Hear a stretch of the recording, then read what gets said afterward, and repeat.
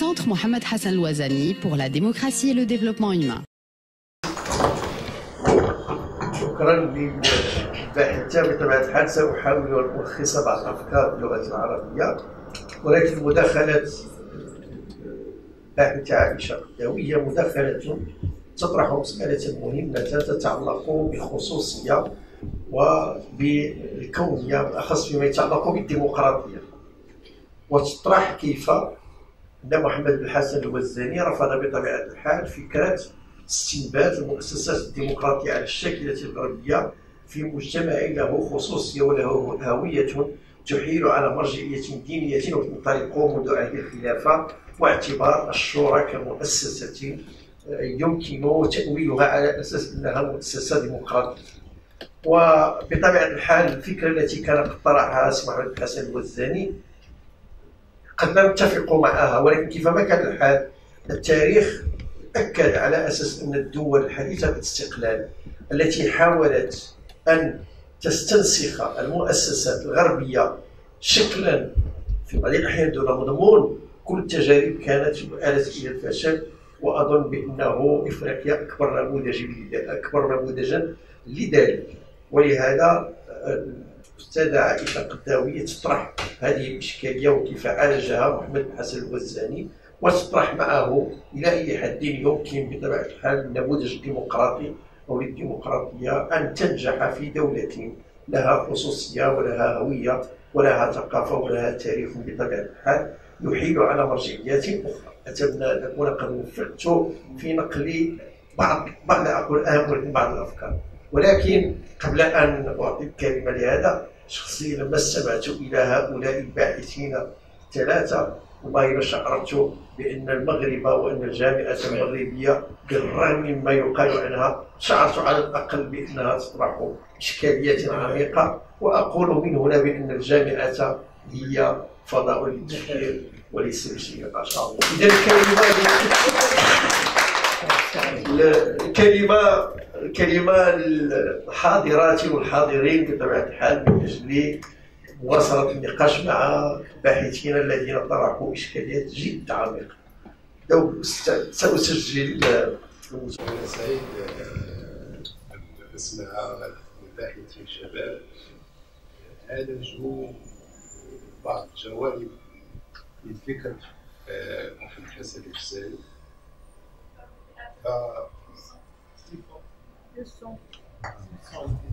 معالجة مثلا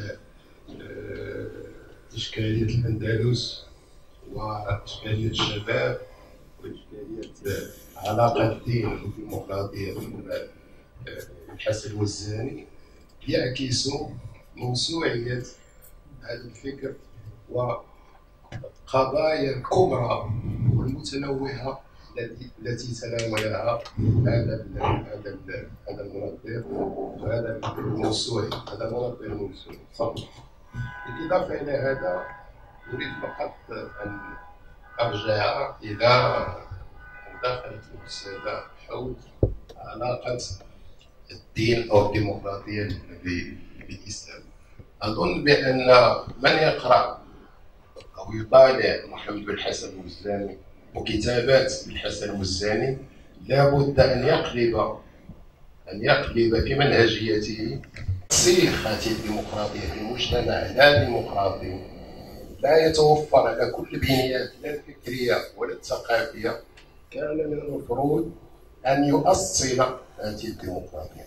ومن هنا رجع إلى التراث الإسلامي ليأخذ منه ويقتبس منه بعض الإشارات بعض الكتابات سواء حول تولي آه، عدم ترك آه، الرسول لوصية يعين فيها من سيخلف في الحكم آه، مسألة الشورى التي ذكرتها الأخت. هي هي مسألة ديال تأصيل الديمقراطية وكيف يمكن أن أن أن نجعل فكرا جمعيا لا لا يتماهى مع مع الديمقراطية. كيف يمكن لهذا الفكر أن نبحث له عن وسائل لتقريب ولاستيعاب هذا هذا هذه المنظومة؟ هذا من جهة من جهة أخرى أن مسألة أن الديمقراطية غير صالحة للمغرب. هذه مسألة ربما تجعل من ال من ال من المغرب أو من المجتمع المغربي كأنه خارج السياق الانساني الديمقراطية صالحة لكل المجتمعات.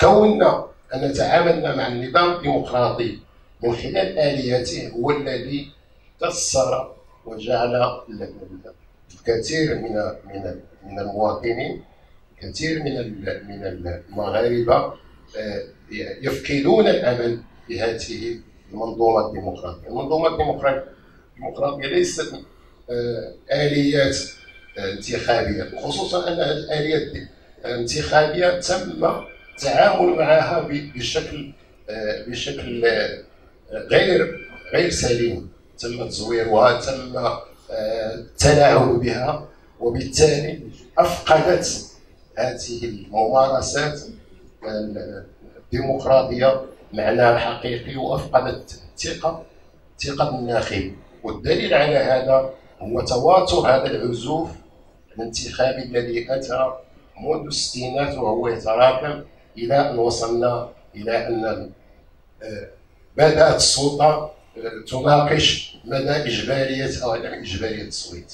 إذا المسألة ليست مسألة أن الوزاني كان يطرح فكرا أو آه، نظاما سياسيا آخر وهو الشورى انما هو كان يحاول أن يؤصل النظام الديمقراطي في المغرب. يمكن أن تتماهى معه آه، مجتمع ما زال يعاني من مجموعه من الترسبات الفكريه والثقافيه شكرا شكرا الرئيس غادي نجمع الخط ونقول تحية للخلفاء الراشدين. الخلاف كاين راه كاين القدره بنادم يطمئن ويسمع بالنسبة للسي حميد ماذا لي أنا كنت هذاك تحول هذاك الموضوع؟ للحديث مباشرة على الحركة ديال 65 كان غادي يكون أفضل تبقى هذيك الأمور الأخرى غير مقدمة وكتمشي علاش؟ لأن دائما النقاش حول هذا الموضوع هذا. 65 دائما كاينة في الساحة خصوصا من بعد راه عطى التنظيم السياسي قدو قداش اللي خرج من هذيك فهنا الوزاني كي ينتقد الدولة اللي وقت ما وقع لها شي مشكل كتسبب في الخارج. هذه مزيانة. والمسألة الأخرى كينتقد كيفاش تعاملت الدولة مع هذيك المظاهرة. وهذاك العنف ما قابلوش هو وكيقترح حلول. أنا بالنسبة لي كون مشى الموضوع بهذا الخط كان غادي يمشي اسمه. ولو تم مثلا الاستعانة بمواقف تنظيمات سياسية أخرى باش نشوفوا اشنا هو موقع يعني محمد بن الحسن الوزاني ما بين مواقف التنظيمات السياسيه الاخرى ولكن على العموم كاين إحاطة بالموضوع بشكل اللي مقبول واللي اللي جيد. آه سعد الواحد. يعني الواحد غادي نتحمى معاك على هذاك المشكل اللي عندك اللي, اللي طرحتيه. ولو انك راه في الآخر مشيتي للناصيه ديالو غير ما غير ما كملتيش. محمد بن الحسن الوزاني من الثلاثينيات وهو يهتم بالمساله الأندلسية. وكان عنده رفاق من اليسار الإسباني. خير بن أمية وواحد المجموعة ديال ديال دوروس ريوس يمكن واحد المجموعة ديال اليساريين إسبان اللي عندهم يوم علاقه هذوك كانوا اقترحوا عليه يكتب في العلاقات المغربية الإسبانية. وراه كتب مجموعة ديال المقالات في الثلاثينيات. في الثلاثينيات كتب كثير. بمعنى أن الثقافة والاهتمام بالأندلس راه كاين. راه كاين عنده من الثلاثينيات. ماشي جديد ماشي حتى الأربعينيات.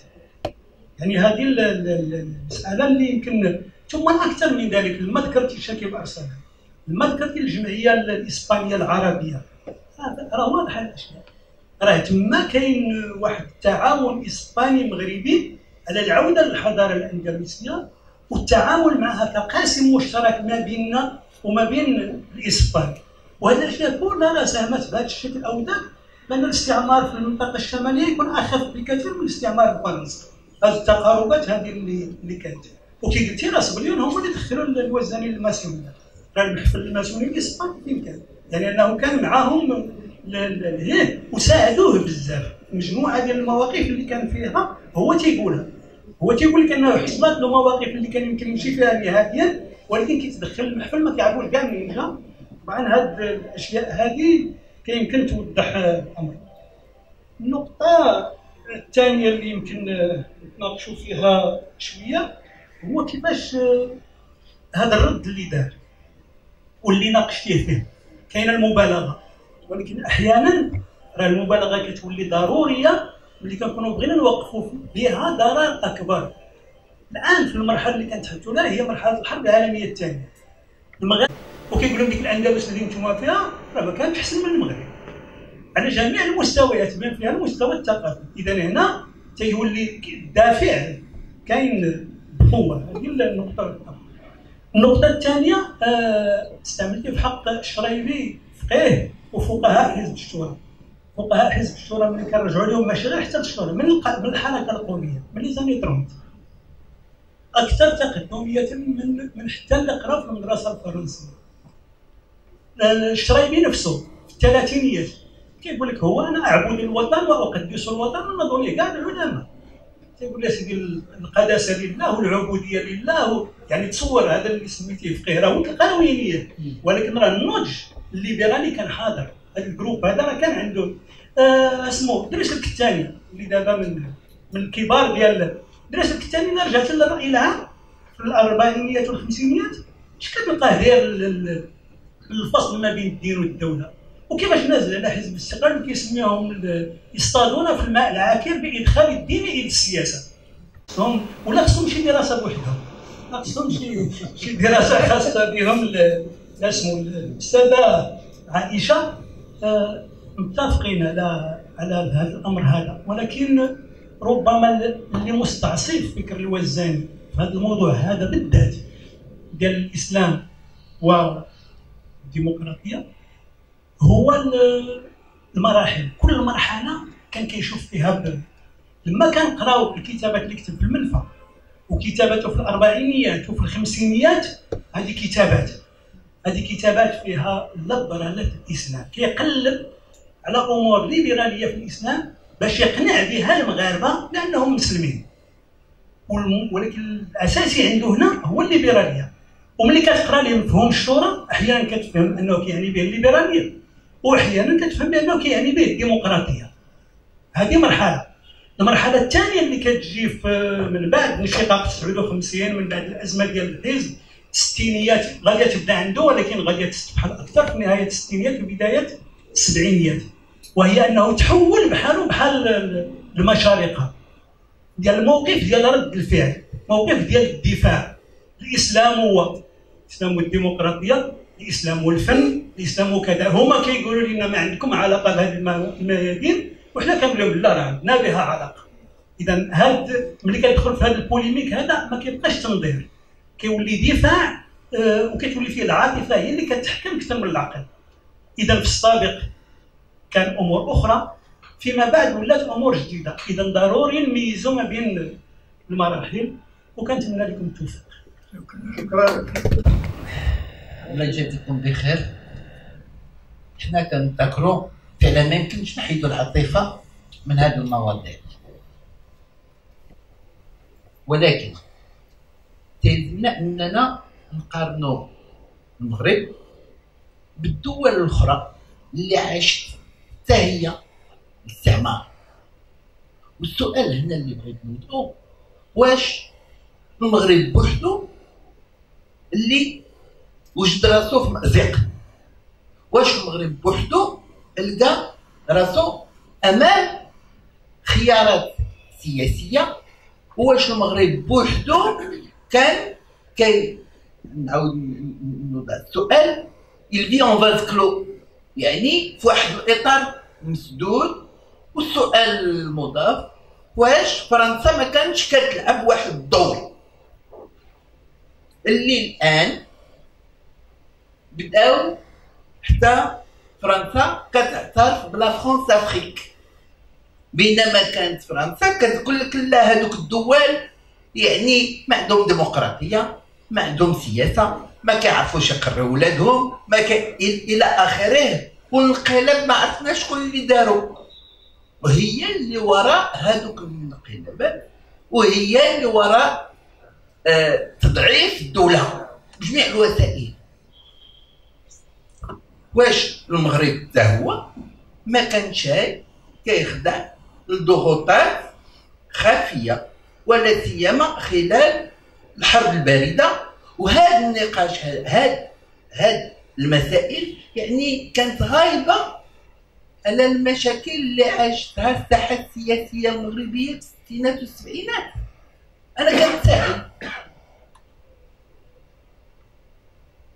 والى حد الآن مازال كل شيء كيقول لك لا يعني المشكل كان غير داخل اطار ما بين المغاربة.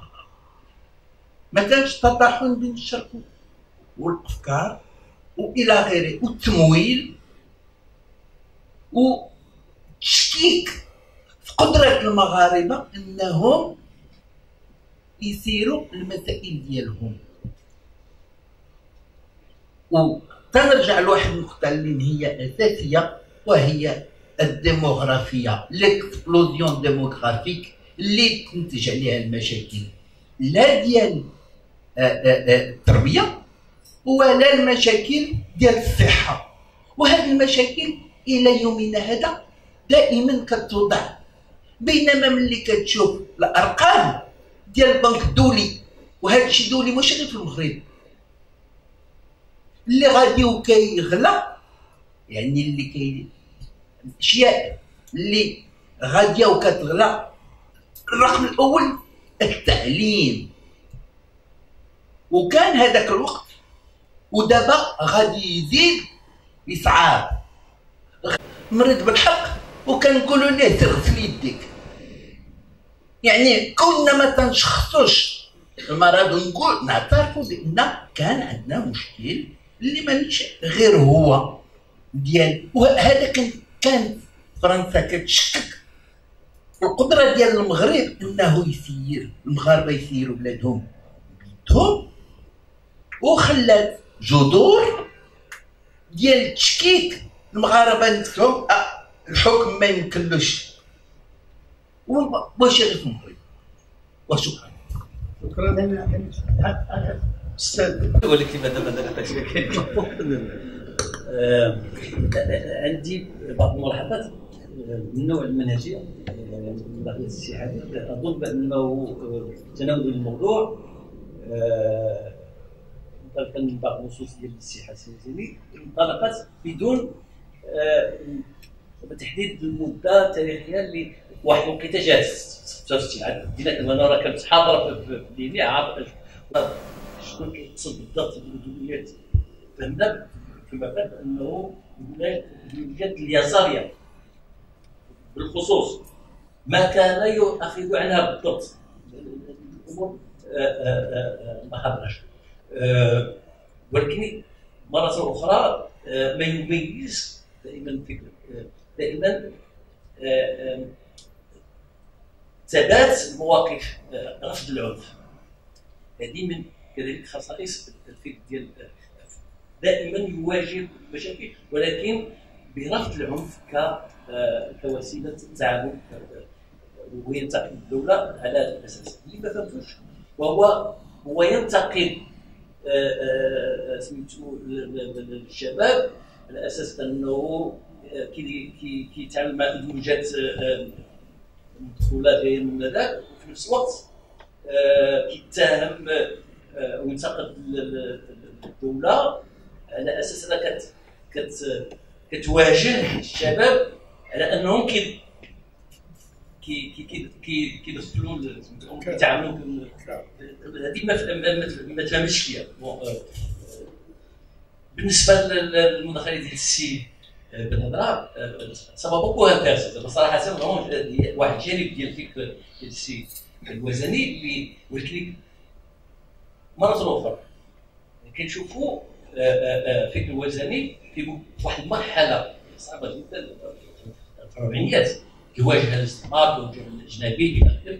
ولكن كي كياخذ مواقف اولا كي كيتجنب الميثولوجيا ولكن بناء ميثولوجيا و mythe حول الأندلس.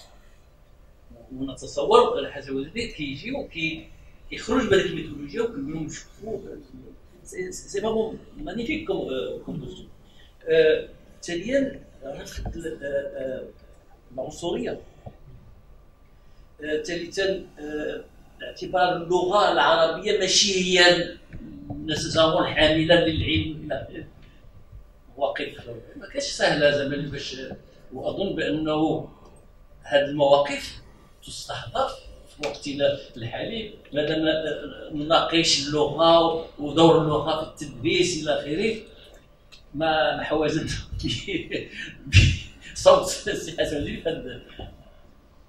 Alors pour en arriver peut-être à la, question de la démocratie, euh, j'ai pas un peu aimé la chukina, euh, euh je parle en français, chukina qui, tend un peu donc là euh, euh, euh d'adopter un public pessimiste, puisque la démocratie ne marche pas, donc il va falloir s'adapter. On sait déjà prendre une certaine position, à mon avis, qu'il faut éviter. Euh, la démocratie va être toujours en crise. Soyons, euh, euh, pour qu'on soit clair, le, problème de la démocratie, c'est pas qu'elle soit en crise, c'est par définition le régime politique qui est le moins facile à, assurer sa stabilité. Parce qu'il aurait tendance, et là, bon, j'en ai parlé avec ces. Dirais, bon, en tant que sociologue, politologue, se méfier un peu, peut-être, des analyses faciles. Je dis, bon, effectivement, euh, on peut faire le constat, euh, il y a des démocraties, il y a des élections, est-ce que c'est crédible? Pas tellement. Ça, je suis d'accord, il n'y a pas de problème. Mais, à mon sens, c'est pas si limité à ça. Si on veut un peu, un peu être un peu plus, plus se dire, bah, quand même, dans le jeu de semblance que, que, que se les régimes arabes, hein, les élections passées là, est-ce que quand même quelque part ce jeu de semblance, d'apparence, ne crée pas une contrainte de vraisemblance Parce qu'à la longue, à force de faire semblant, bon, on est pris dans les règles de la semblance et on n'est pas. Euh, donc, euh, euh, j'imagine difficilement maintenant que les régimes se passent des élections complètement de Il est obligé de passer par là. Il est obligé d'avoir des partis politiques, même s'il minimise le rôle politique, il est obligé de les avoir. Et c'est une contrainte. Donc on peut dire de la semblance, ça crée une contrainte. Le régime ne peut pas faire comme si on peut éliminer ça euh, euh, facilement. Donc je, je pense même l'histoire en, Europe montre bien que la démocratie, c'est pas construit facilement. Elle a tout, tout, tout. Mais pour comprendre un peu ce qui se passe dans la pensée Mizani, l'islam, la démocratie, je suis d'accord un peu avec l'idée d'un bon c'est Mohamed Mizani avait vécu à l'époque. راه كيتواجد في واحد واحد المحيط ثقافي مجتمع في الدين في الآخر باش غتخاطب المجتمع تجي تقول لي جون جاك روسو فين كيعرف جون جاك روسو il ne connaît pas. Par contre, si vous lui dites, on va le ça marche. Ça lui donne l'assurance. Ça vient de. Bon, mais. Euh, euh, pour autant, je risque de compter dans mon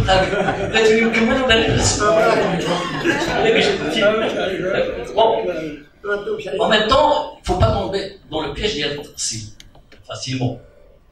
Authentifier, certes, c'est une nécessité, mais ça pose le problème quand même, d'une certaine manière, de, euh, comment dirais-je, de, de, de, diminuer de l'idéalité de quelque chose qu'on veut défendre.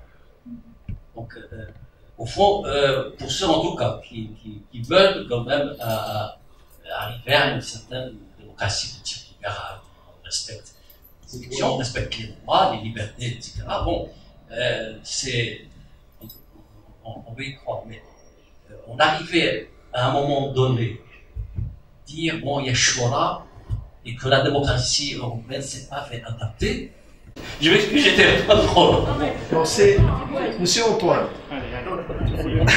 Voilà, je vais me greffer sur tout ce qui vient d'être dit, mais j'avais une première remarque à propos de l'Andalousie, aussi notamment par rapport aux réponses de M. Mohamed qui, est, qui connaît énormément de choses sur tout ça, mais j'ai le souvenir que si Mohamed Hassan Ouazzani me, me, racontait ses pérégrinations, ses voyages en Espagne, et notamment, comme ça vient d'être dit, il était accueilli par des milieux socialistes, républicains, droits de l'homme, francs-maçons, et, il avait contribué à créer aussi des contacts pour mettre en place la création d'une chaire de civilisation euh, andalouse, en fait, l'histoire et civilisation andalouse.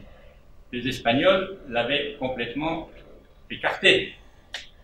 Donc il fallait même réintroduire la langue arabe pour lire l'histoire andalouse. Donc on a créé une chaire.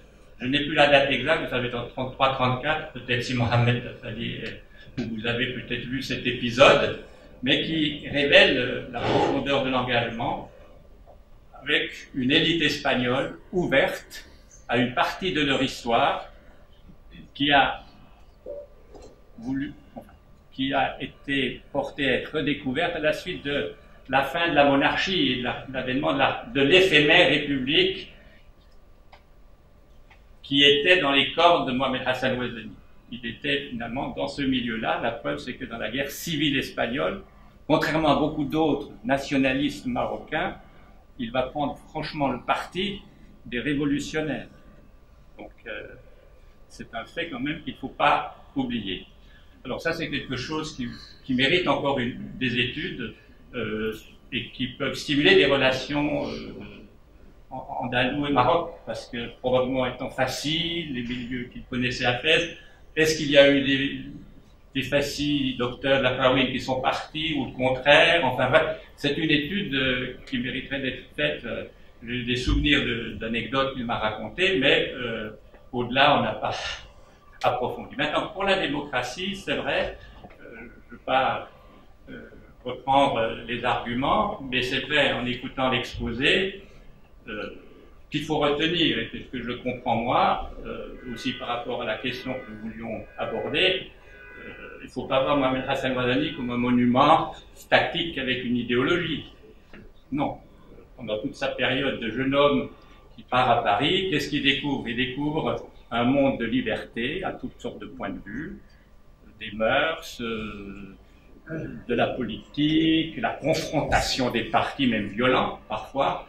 Il découvre tout ça. Mais euh, en même temps, il réfléchit à euh, d'où il vient.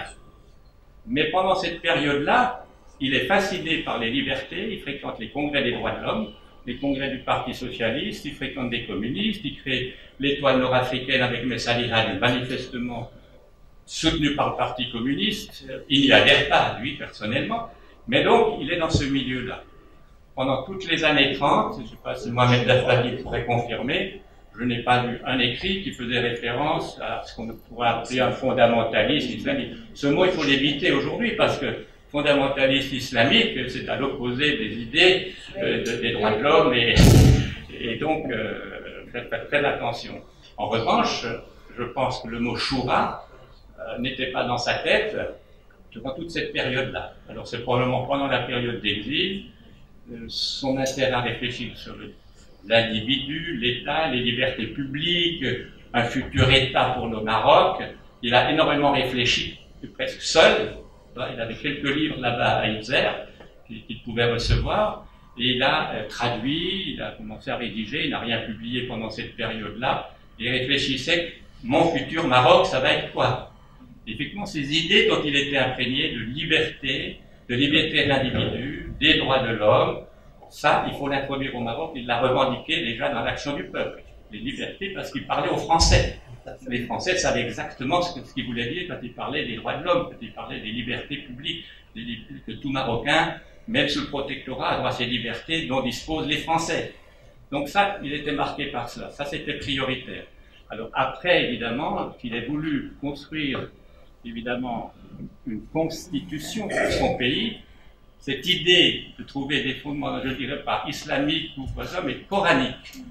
Et c'est la choura. Et c'est comme tu l'as dit, quelque chose de très simple, la consultation, la délibération, rien n'est imposé, et ça n'a jamais été pratiqué en islam, en vérité. Parce qu'après, on a eu des califes et des dictateurs qui se sont éliminés. Autre obsession de Mohamed Hassan Rouhani, On le voit dans ses revendications tout de suite après sa libération, dès 1946, dans la création du parti, au moment de l'indépendance, dans les négociations qu'on a évoquées ce matin avec le maréchal Juin, euh, ce projet de,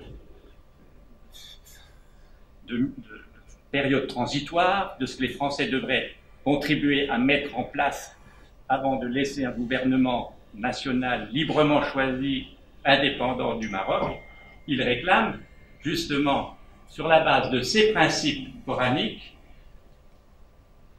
la légitimité, il le dit explicitement, de prendre des démocraties étrangères le meilleur pour le Maroc. Ça ne n'interdit pas, parce qu'il n'y en a pas dans les pays de tradition euh, musulmane, des pratiques modernes. Et donc il veut introduire, il le dit explicitement, nous avons la légitimité sur la base de la Shura d'adapter à notre histoire, à notre culture, des modalités. Il faut, bien distinguer entre les principes et les modalités. Alors les modalités de la démocratie aujourd'hui, elles sont multiples. J'ai écrit des trucs là-dessus, dans des manuels, enfin, bref. Euh, euh, l'universalité de la démocratie, le principe est universel. Les modalités, elles sont vaille que vaille, de cette manipulation, comme c'est évoqué par euh, notre conférencière, à des efforts continus en Europe, aux États-Unis, dans toutes sortes de pays, dans l'Inde, etc., pour améliorer les modalités d'une démocratie que Mohamed Hassan Ouazadi désigne. C'est très mariant le vocabulaire. À partir d'un certain moment, il n'utilise pratiquement jamais le mot démocratie sans dire authentique. Ça m'a frappé, une démocratie authentique. Et ça. C'est-à-dire, c'est pas une copie, c'est pas du copier-coller. On va pas copier la, France, on va pas copier euh, les États-Unis, on va faire quelque chose qui soit vraiment inventé par notre génie, par notre science, par nos, nos sages. Et la première revendication pour bien montrer qu'il n'est pas du tout réticent à ce qu'on appelle l'occidentalisation d'une certaine matière, c'est qu'il réclame ce qui était courant dans l'instauration de toutes les démocraties, et qui se fait encore. Moi, je viens d'un pays démocratique. On renouvelle à chaque constitution, on renouvelle une constitution, même locale, donc chez nous, cantonale en Suisse, euh, on, instaure une assemblée euh, constituante. En 2011, on attendait qu'il y ait une assemblée constituante pour donner une légitimité fondamentale à cette démocratie authentique. Alors, on peut accéder, comme tu viens de le dire, à la démocratie par toutes sortes de modalités, parce qu'on a voulu, on a subi des influences, on a voulu plaire à des, à des sponsors importants, enfin bref. Mais euh, moi, je suis assez ouvert à l'argument que tu as donné. À force de pratiquer dans toutes sortes de circonstances ces modalités d'élection, les gens peuvent y prendre goût. Et on change les têtes. Et ce qui fascinait Mohamed Hassan Ouazani par rapport à sa, à sa future étape, et qui lui permettait, ce qui était dit ce matin, d'être modéré, de ne pas, être, de ne pas renverser le roi, de ne pas massacrer, le, comme dans les pays arabes. Il le cite, nous ne voulons pas copier la Syrie, nous ne voulons pas copier l'Irak, nous voulons faire quelque chose d'original, et grâce à sa majesté, qui doit, c'est pas personnel, c'est l'institution, qui doit être de longue durée, qui n'est pas sujette aux querelles partisanes, comme il y a dans les monarchies constitutionnelles en Europe. C'était sa, sa, façon de voir les choses. Mais c'est vrai, l'histoire c'est l'histoire.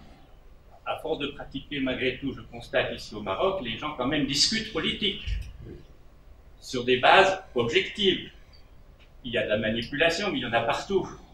Mais ça permet justement de changer les élites, de légitimer des changements, d'éviter des coups de force, d'éviter la violence, et c'est ça qui est recherché, c'est-à-dire, euh, dans l'intérêt du peuple, éviter des... Un autre critère, effectivement, qu'il faut vraiment mentionner, dès l'indépendance, vous lisez le journal Démocratie, même pas six mois après l'indépendance, le danger de la dictature du parti unique.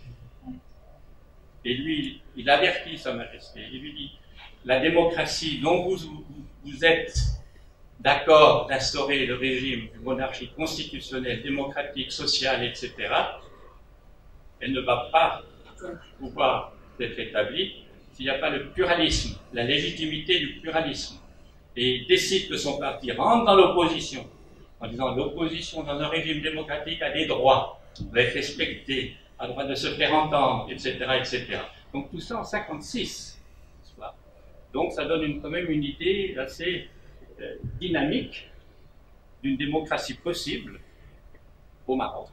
Et c'est évoqué tout à l'heure, M. Posé, les, les, discours de Sa Majesté, quand je les lis, je me dis, ben, il y a quand même une orientation qui doit légitimer tout citoyen de dire il y a un changement possible. Et d'abord euh, de, de, l'extrême droite euh, conservatrice euh, en Europe, n'est-ce pas euh, Revenons. non, je dis une chose aussi. Été professeur d'histoire assez longtemps et parler aussi de la démocratie. La démocratie n'est jamais acquise définitivement. Et dans l'histoire de l'Europe, tu l'as évoqué, n'est-ce pas Dans l'histoire de l'Europe, il y a eu un long, long processus. Les modalités d'élection ont été très lentes. Entre le vote transitaire de 100 000 Français qui avaient droit, entre le vote universel masculin en 1848, le vote euh, universel féminin masculin après la Deuxième Guerre mondiale, donc etc. Donc ça veut dire qu'il y a des progrès dans l'avènement des droits du citoyen au niveau politique et de, la parole, etc. Donc c'est pour ça qu'il ne faut pas être trop pessimiste euh, et je pense qu'il ne faut pas faire dire... Euh, il y a des problèmes en Europe, donc pour nous, c'est foutu, la démocratie, passons à un général qui va nous apporter le bonheur. Voilà. Merci.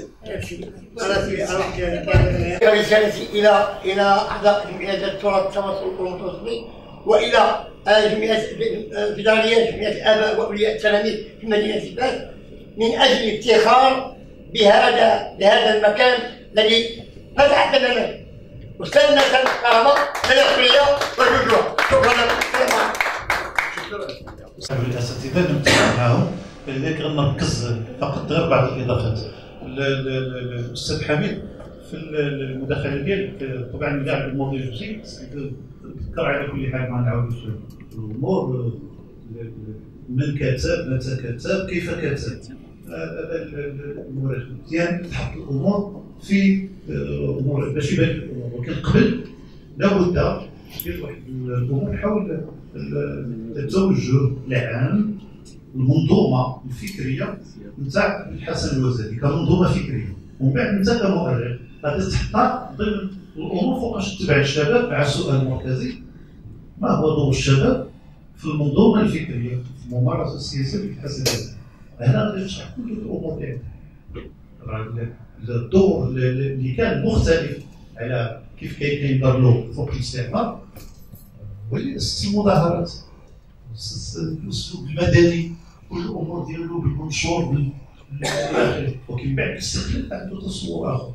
باش نضرب من بعد الشباب وتسمى الخطابات اللي جبتي تعطيها واحد واحد يمثل آخر ضمن المنظومه ديالو من بعد ندخلوا في walking in the day. Seven to eight. De, de, nos étudiants, on se voyait au moins deux fois par semaine. À chaque euh, rencontre, il me soirée de questions de deux ans, il ne répond même pas à mes, Là, tu vas les questions. Par contre, donc, il termine on verra le contraire. J'ai été ravi. دخل ديالك مجموعة كلها اللي كانت من اللي فيها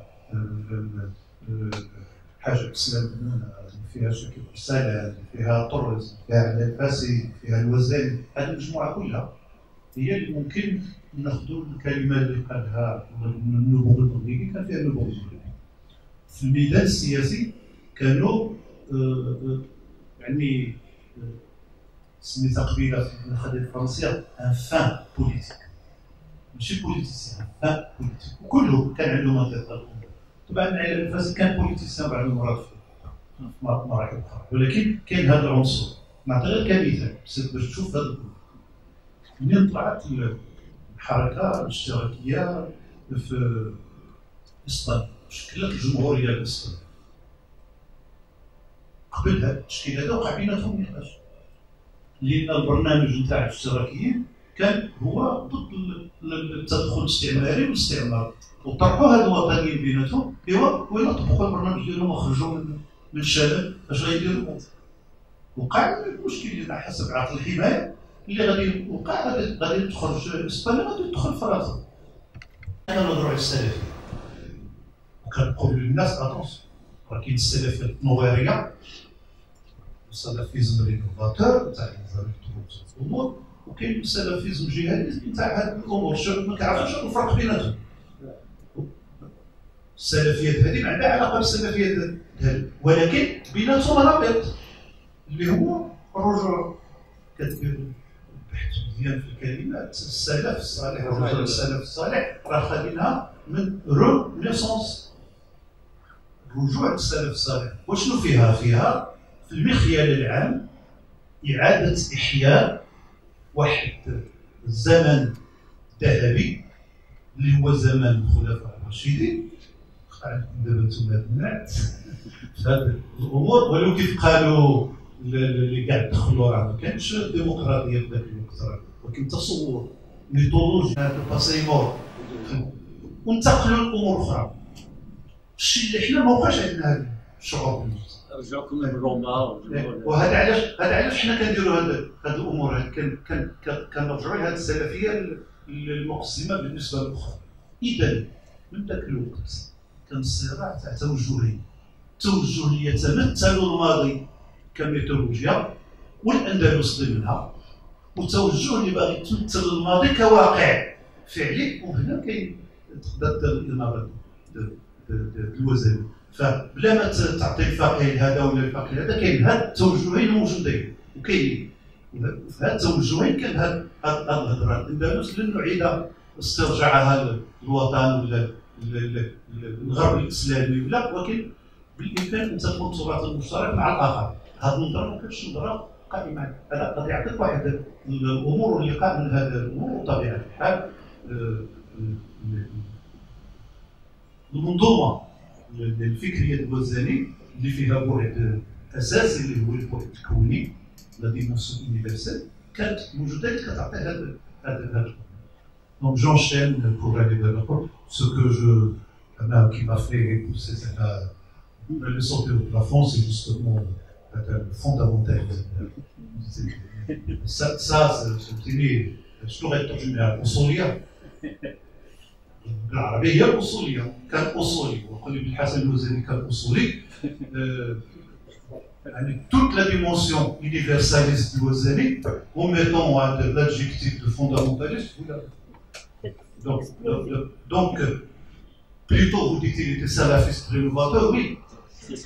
Même si c'était un salafiste rénovateur au même titre que, que les autres, etc. Mais avec une dimension un peu plus vers, vers l'universalisme. Donc il avait cette dimension euh, universaliste, c'est ce qui faisait la différence, mais jusqu'à un certain point.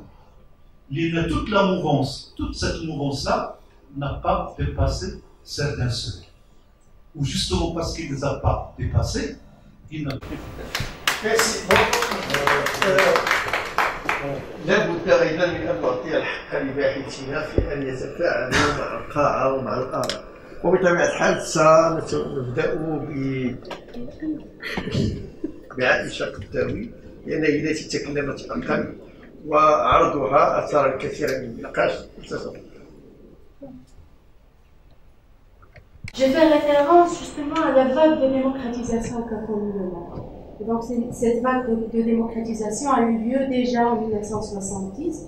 elle a touché euh, les pays de l'Amérique latine, de, l'Europe de l'Est.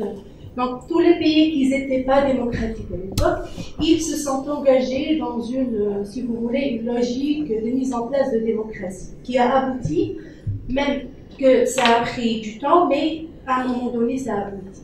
Donc, au Maroc, comme dans les pays arabes, nous sommes aussi engagés dans une logique de démocratisation parce que ceci est une référence euh, qui est présente dans des productions, que ce soit journalistiques, académiques, et qui est aussi présente dans, notre constitution. Donc moi, ce que je questionne, c'est justement cette, cette vague de démocratisation, cette démocratisation du pays. Parce que justement, pour parler de démocratisation, il ne suffit pas de mettre en place des réformes, mais il faut aussi consolider ces réformes et il faut respecter une certaine temporalité que nous n'avons pas respectée. Alors moi, je ne suis pas pessimiste quant à la démocratie, pas du tout. Alors j'aimerais bien que, que la démocratie soit mise en place au Maroc. Ça serait, ça serait super dans, dans, ce sens, parce que justement, nous sommes, nous sommes ici réunis pour discuter justement de la question démocratique. Et donc, euh, si j'étais pessimiste, j'allais pas être parmi vous. Alors, je suis une personne qui est très intéressée par la, par la question démocratique. J'aimerais bien qu'un jour que ça va être instauré. Et euh, j'aimerais bien que les réformes que le Maroc a initiées depuis des décennies, déjà c'est depuis les années 90 qu'on initie des réformes, qui ne sont pas consolidées. Euh, j'aimerais bien que ces réformes contribuent à la mise en place d'une démocratie au Maroc. Donc voilà, c'est ce que j'ai retenu de vos, de, vos, de vos remarques. Puis voilà, j'espère que, que j'ai pu éclaircir un peu. Merci. شكرا سيدة رئيس على قدر المستوى في الحقيقة لا أخفيكم أني كنت متخوفا جدا قبل هذه المداخلة. فقد اعتدت منذ سنة 2003 نشر مقالات في جريدة أحمد المغربية وكنت أحيانا أضع صورتي وكنت أخاف من ردة فعل القارئ أو سيبقى بعيدا عني. ولكن قلما تدخلت ولذلك وفي موضوع ربما بدا في البداية كأنه غريب كربة الأندلس.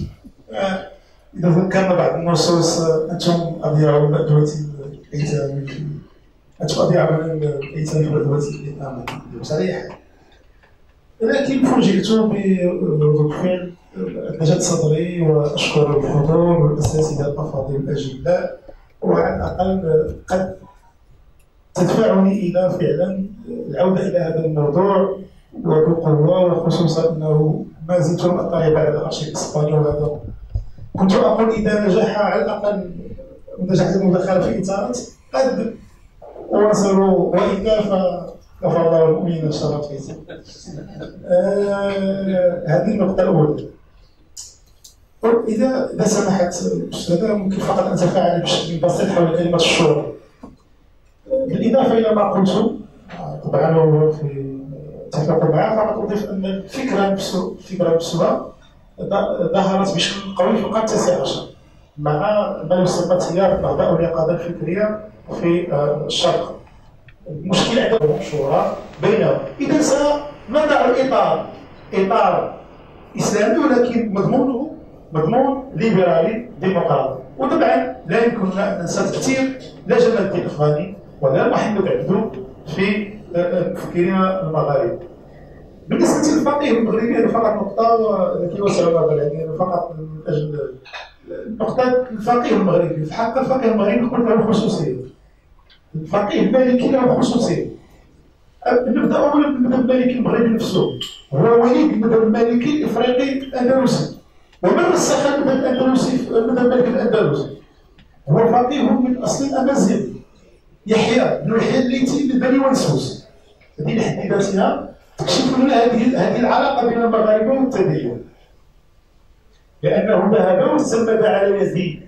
مالك بن أنس بن أنس لدينا روايات عن مطاي أهمها رواية يحيى بن يحيى التي بن بني وهو الذي رسخ رسخ المذهب المالكي من خلال فرضه في أحكام القضاء. لأن اخطر وسيلة في العصور الوسطى لنشر المذاهب هي القضاء. إنك تفرض على الناس من التعامل وهذا يقولون لي النقطه الاتيه أو المواليه أنا أصبحت أتحفظ على الكتاب أصبحت ابتعد على الكتابه في الجرائد. ليس تبخيس ابدا ابدا بالعكس هذه بالنسبة لي إضافة. لغاية الساعة ليس لدي جواب. لماذا ليس المغاربه حزن على السقوط بينهم جوج سقوط بينهم جوج ستة. السبب لماذا الجنوب في الصحراء المغربية؟ كذلك وربما بعضهم يعرفون أنه حتى العالم بن ابي طالب حارب بقوه وهناك حتى روايات عن أن بعض الصحراويين يسبون أبي بكر وعمر. ولكن على المستوى الرسمي المذهب المفروض للمعاملات وهذه علاقة لا يكون أنا بالنسبة لي لا نظن إلى شيء قضيه بالعكس بالعكس مسألة إيجابية فيها نوع من التعايش. التي أعطتنا الفتوى المعرضون في القرن إلى هذه؟ وهي فتوى إذا نظر إلى البعض. اليوم بالصغير كيف لفقيه مثل بغض النظر عن باقي فتاوي. آه، آه، كذلك مجموعة المحطات وهنا أصل إلى وأعتقد اعطيت باعتبار لأن هناك كثير من النقاط لم ارتبها ولكن عفوا الخاطر تفاعلت مع الحضور الكريم. مساله الأندلس. في الحقيقة خلال اطروحاتي كنت انوس بين الماضي والحاضر. وجدت نفسي يعني حائرا أين سأقف؟ لأن الأندلس اليوم تضخمت أكثر من السابق وعندما أجد أن العلوي وهو العلوي من هو العلوي صاحب فهم العقل يتحسر على الأندلس أقف لا أتساءل لماذا؟ قد يكون لدي جواب بسيط مثلا الناحية الفقهية مسألة المقاصد التي كانت بين وجه الثورة في وقتها في القرن الثامن الهجري الرابع عشر الميلادي مع الفقيه أبي إسحاق الشاطبي الذي يعتبر يعتبر أهل السنة انه وجد الفقه. باعتبار طبعا السنة يعتبرون أن الشافعي هو أصول الفقه. وكانت هذه المساله أصبحت من القداسه بحيث لم يعد أحد يستطيع المساس بالتوابع التي وضعها. الشافعي إلى أن جاء الشاطبي ورسخ وأسس لفقه جديد تحت اسم المقاصد مقاصد. التفكير ولكن أختي قد افهم التحسن العلوي إذا رأيت أن أكثر الآن الذين يستعملون المقاصد ليسوا من الذين ينظرون إلى المستقبل بقدر ما ينظرون إلى شيء آخر. وهنا أحيل على ما كنت قد رسمت قبل ست سنوات. ردا على الريسوني الذي صور اليوم رئيس اتحاد العالم المسلمين وقلت له انكم تقومون بمسألة يعني بخطاب مزدوج ناحية مسألة المقاصد. تستعملون المقاصد حينما تكون في صالحكم وفي صالح حزب العدالة والتنمية ولكن عندما تكون في صالح آخرين فإنكم ترجعون إلى النص الحرفي بالمناسبة لما نقول المقاصد فبعض الفقهاء يقولون لما نقول المقاصد معناه لا نلتزم بالنص الحرفي لا ولا حديث بل أن المقاصد الكبرى كالعدل والرحمة وبهذا أختم لأنني أيضا رددت على القرضاوي في مسألة المقام ومسألة التحصيل. أنه إذا أردنا فعلا أن نكون مقاصدين كما يدعي القرضاوي والريسوني أن نعطي للمرأة في حالتنا نقول في حالة مستعجلة وهي حالة الرجل اللي توفى وتفقد البنات وتفقد البنات الحالة التي توفى فيها الرجل وتفقد البنات فأعتقد من بين أن نستعمل هنا مقال الشارع قد يقول أختي حتى لا حتى لا اتهم بشيئا قد يقول أحدكم وهذه فكرة روج لها أبي حفص. لا هي فكرتي وأول من كتب عنه 1000 2005 واشكره ترك هذه السنة المقبله إن شاء الله. تفضلوا أستاذ. الناس أخذ الحاضرين شر الاستماع ملاحظات أستاذي الدبلي والاستاذ بوزيد والأستاذ نواقيت على الرأس والعين. فقط جوابا على نلاحظ أن الوزاني ينتقد الايديولوجيات وفي نفس الوقت ينتقد القمع. أنا تنتقد الدولة بنفس ينتقد الدولة على طريقة تفاعلها مع تلك الايديولوجيا واحد قلتي بان واحد الدولة اللي واخذها لأنه الدولة تتهم الشبان كتدخل الإيديولوجيات. لا رجاء رجاء في صافي راه ماشي مشكل ماشي مشكل صافي. صاحبي لكن لا لا والله والله لك نسدو ماشي مشكل. لم يجب تجنب لا لا مرحبا مرحبا. المسألة أنا حسب ما لاحظت في قراءتي النصوص اللي متعلقة بالشباب فقط عند محمد بن حسن الوزاني أول شيء كنلاحظ أنه كيعتمد ما عرف عند الخطيبي بالنقد المزدوج. جميع المستويات ولاحظ تفسيره يميل إلى وضع العوامل المفسدة ذاتيا وموضوعيا أو كما أسميته في المداخلة داخليا وخارجيا. بالنسبة كما فهمت من تساؤلكم الشادي اعتبرت أن هذا النقد نقدا مزدوجا والذي اعتمده الخطيبي والحبابي محمد عزيز الحبابي الذي كان معه في لاحظت هذا التشابه في استعمال هذا النقد المزدوج لا يكتفي بنقد الخارجي ولا يكتفي بنقد ما هو داخلي وإنما الاعتماد على النقد المزدوج. بالنسبة لاستاذي من كتب كيف كتب؟ متى كتب؟ من كتب كيف كتب؟ موجودة. متى كتب؟ كلفتني وقتا. قد لاحظتم أن بعض المقالات حاولت أن أشير إلى تاريخ صدورها لكي لا احملها أكثر منها. مثلا يمكنني اعتماد خطابه في الدار البيضاء في سنة 60 900 و1000 وأنا أتحدث على 65 وهذا لا يستقيم لنا في البحث التاريخي. وشكرا لكم. شكرا. شكرا للجميع شكرا للمتدخلين المؤرخين والمفكرين وباحثين وأيضا لابد من استغلال هذه المناسبة للشكر. مركز محمد حسن الوزاري لأن هذا المركز اتاح لنا اولا الاحتفال بالديمقراطية وباليوم العالمي للديمقراطية بطريقة ديمقراطية. نتمنى أن نلتقي أيضا نخلد الديمقراطية في السنة المقبلة. إلى ذلك الحين شكرا لكم وإلى اللقاء.